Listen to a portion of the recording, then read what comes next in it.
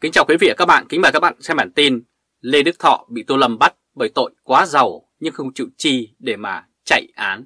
Tại Hội nghị Trung ương 8 khóa 13 của Đảng Cộng sản Việt Nam vào tháng 10 năm 2023, một số quan chức cấp cao đã bị Ban chấp hành Trung ương Đảng biểu quyết kỷ luật, trong đó có ông Lê Đức Thọ, cựu bí thư tỉnh ủy Bến Tre. Thời điểm đó, người được cho là có khả năng bị khởi tố, bắt giam ngay sau khi hội nghị kết thúc là cựu bí thư tỉnh ủy Thanh Hóa, ông Trịnh Văn Chiến. Còn cựu bí thư tỉnh ủy Bến Tre Lê Đức Thọ sẽ được hạ cánh an toàn nghỉ hưu ở tuổi ngoài 50 với khối tài sản khoảng 4.000 tỷ đồng. Nhưng cuối cùng mọi việc xảy ra không như đồn đoán. Ông Trịnh Văn Chiến, cựu bí thư tỉnh ủy Thanh Hóa chỉ bị cách tất cả các chức vụ và được hạ cánh an toàn. Trái lại, cựu bí thư tỉnh ủy Bến Tre, ông Lê Đức Thọ thì lại bị khởi tố, bắt giam liên quan đến một vụ tham nhũng khác. Bộ Công an bắt tạm giam ông Lê Đức Thọ. Tờ báo Tuổi Trẻ vào ngày 14 tháng 12 đưa tin rằng Bộ Công an bắt tạm giam ông Lê Đức Thọ. Bản tin cho biết ông Lê Đức Thọ bị cơ quan điều tra Bộ Công an khởi tố, bắt tạm giam điều tra về sai phạm trong vụ án của một công ty đầu mối xăng dầu lớn phía Nam có tên là Xuyên Việt Oil.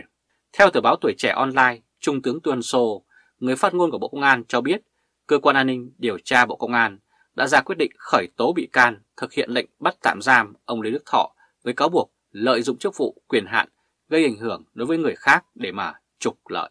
Vẫn theo Trung tướng Tô Ân Sô, ông Lê Đức Thọ bị bắt trong quá trình cơ quan an ninh điều tra thụ lý, điều tra vụ án xảy ra tại công ty trách nhiệm hữu hạn thương mại, vận tải và du lịch xuyên Việt UE và một số cơ quan tổ chức liên quan.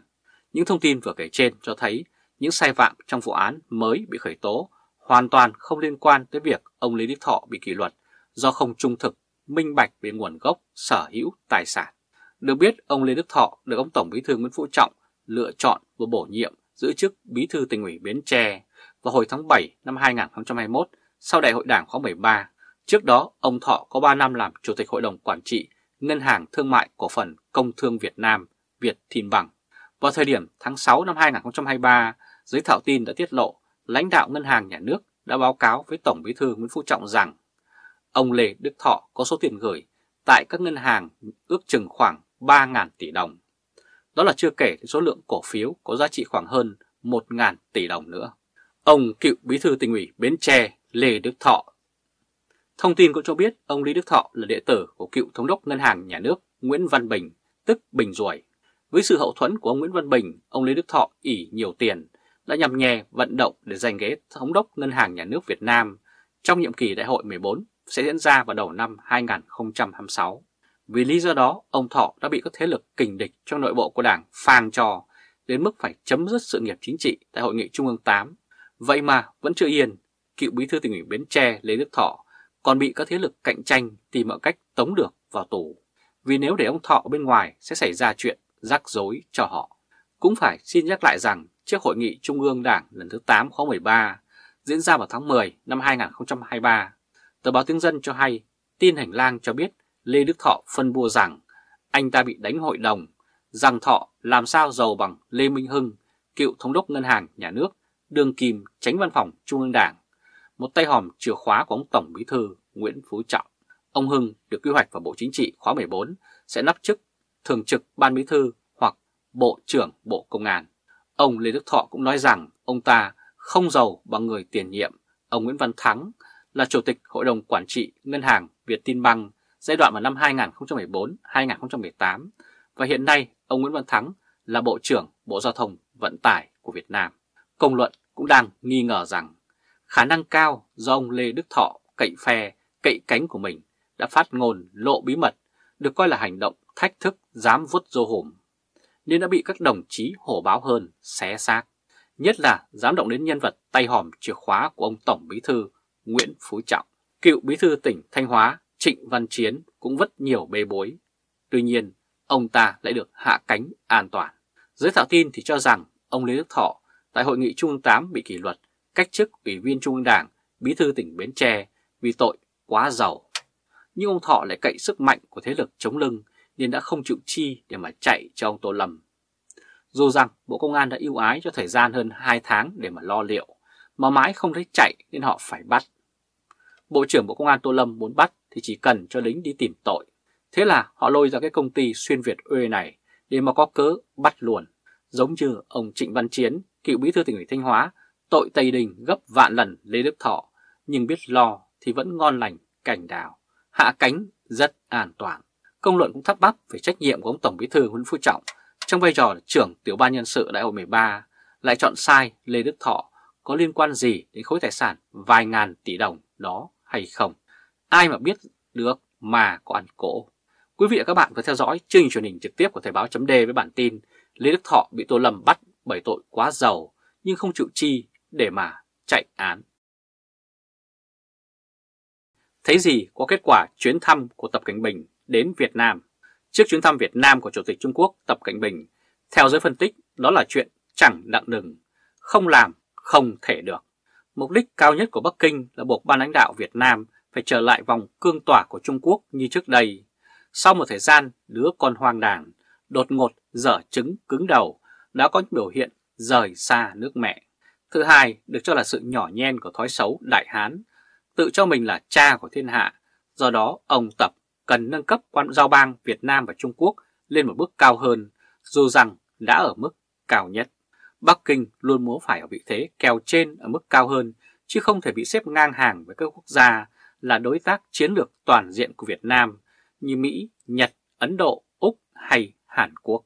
Ông Tổng Bí thư Nguyễn Phú Trọng trong lễ đón Chủ tịch Tập Cận Bình tại Hà Nội vào ngày 12 tháng 12. Trước chuyến thăm, giới chuyên gia nhận định rằng khả năng rất cao Việt Nam phải chấp nhận sự đồng thuận về cộng đồng chung vận mệnh với Trung Quốc. Nhưng bất ngờ khái niệm cộng đồng chia sẻ tương lai đã được đưa vào thông cáo báo chí và phút chót, mặc dù về bản chất không khác mấy. Điều này được cho là tính nhạy cảm với ngôn từ và do tâm lý chống Trung Quốc đang rất mạnh ở Việt Nam.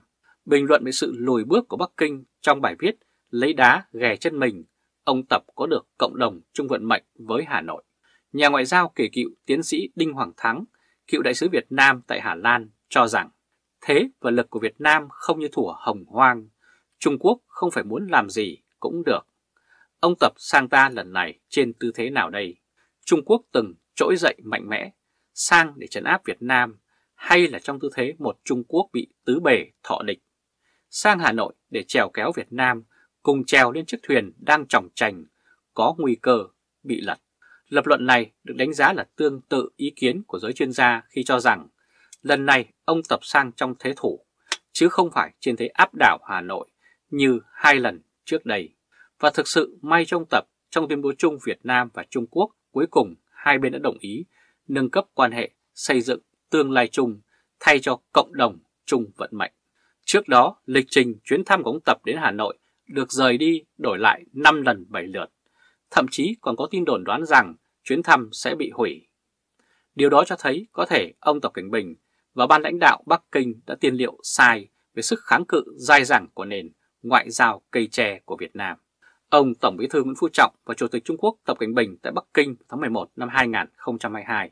Trước khi ông Tập đến Hà Nội, tờ báo Nhân dân và một số tờ báo khác của Việt Nam đã đăng một bài viết được cho là ông gửi tới, trong đó ông Tập ví von. Chuyến thăm này giống như họ hàng láng giềng, vừa là đồng chí vừa là anh em, hai nước núi liền núi, sông liền sông, như môi với răng. Theo giới quan sát, đây là một thông điệp mà ban lãnh đạo Trung Nam Hải muốn cho thấy họ khẳng định sẽ tiếp tục kìm hãm Việt Nam chặt chẽ hơn. Điều này khiến cho dư luận xã hội ở Việt Nam bàn nhiều về chuyến thăm của Chủ tịch Trung Quốc đã nóng lại càng nóng hơn. Hành động dại dột của ông Tập đã phá vỡ đại cục và được ví như tự bắn vào trần mình. Không những thế, trong những ngày cuối cùng có mặt tại Hà Nội, Chủ tịch Tập Cảnh Bình còn yêu cầu phía Việt Nam chống lại những ý đồ được cho là gây rối khu vực Biển Đông từ bên ngoài. Nói với Thủ tướng Việt Nam Phạm Minh Chính, ông Tập nhắc Trung Quốc và Việt Nam nên cảnh giác và phản đối bất kỳ nỗ lực nào nhằm gây rối loạn khu vực châu Á-Thái Bình Dương. Những điều này rõ ràng cho thấy Chủ tịch Tập đang nhắm đến Hoa Kỳ, một đối tác chiến lược toàn diện mới của Việt Nam. Người Hà Nội đã từng biểu tình phản đối Tập Cận Bình trong chuyến thăm Việt Nam vào những năm 2017. Trong bối cảnh Việt Nam và Trung Quốc có nhiều tranh chấp về chủ quyền lãnh hải trên Biển Đông, Việt Nam đã nhiều lần cáo buộc Trung Quốc xâm phạm vùng đặc quyền kinh tế cũng như tiến hành các hoạt động quân sự hóa trên khu vực này. Gần đây, Trung Quốc đã đưa ra bản đồ đường lưỡi bò 10 đoạn với tuyên bố chủ quyền trồng lấn lên các vùng lãnh hải thuộc chủ quyền mà Việt Nam tuyên bố. Theo giới phân tích, Mặc dù lãnh đạo Việt Nam ủng hộ việc tham gia vào cộng đồng chia sẻ tương lai của Trung Quốc, tương tự như khái niệm cộng đồng chung vận mệnh, nhưng tuyệt đại đa số người dân Việt Nam thì phản đối khi cho rằng Việt Nam không thể chung vận mệnh với một quốc gia đang có tranh chấp chủ quyền lãnh thổ trên Biển Đông. Cho nên, bất kể ra sao, việc ban lãnh đạo Việt Nam tham gia vào cộng đồng chia sẻ tương lai của Trung Quốc cũng là hành động bán nước. Quý vị và các bạn vừa theo dõi chương trình truyền hình trực tiếp của Thời báo chấm với bản tin ngày hôm nay. Thấy gì qua kết quả chuyến thăm của Tập Cảnh Bình đến Việt Nam? Quý vị và các bạn hãy chia sẻ video này cho nhiều người biết và bấm nút theo dõi YouTube và Facebook của Thời báo chấm để luôn được cập nhật những bản tin mới nhất, nhanh nhất và trung thực nhất. Từ Berlin, Cộng hòa Liên bang Đức chào các bạn và hẹn gặp lại các bạn ở bản tin lần tới. Trung Khoa Thời báo chấm